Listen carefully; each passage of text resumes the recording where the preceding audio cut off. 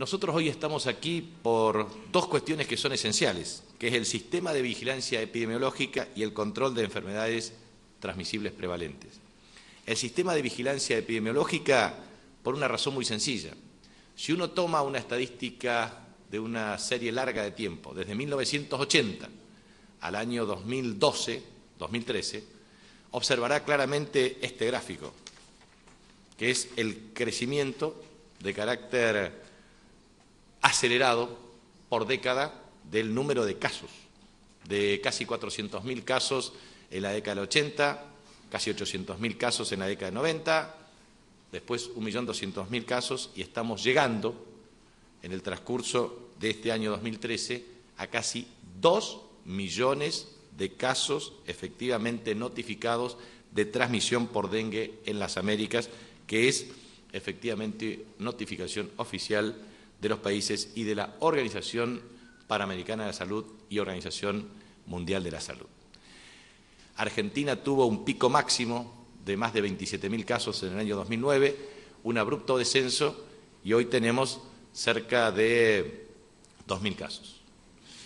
Entonces, el tema central es eh, observar aquellos quienes hemos experimentado desde el territorio lo que significa combatir el dengue. Por eso observo a nuestros trabajadores con sus respectivas mochilas para la fumigación.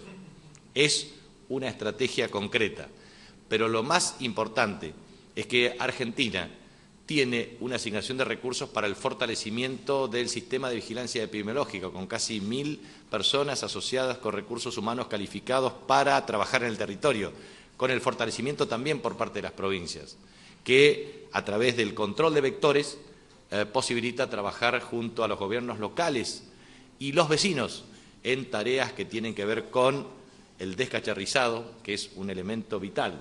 En definitiva, creemos nosotros que en la hermandad de políticas públicas para favorecer a nuestros pueblos es necesario coordinar acciones preventivas, también de fortalecimiento de la atención primaria y también de mejoramiento de las condiciones de acceso a la salud de parte de nuestros respectivos pueblos. Así que muchísimas gracias por esta oportunidad de participar de este evento, comprometerlos a todos y a todas en este gran desafío de lograr un sistema de vigilancia epidemiológica de alta calidad que involucre a todos nuestros respectivos pueblos, a todos nuestros gobiernos y sobre todo para hacer conciencia de la magnitud de la tarea para prevenir.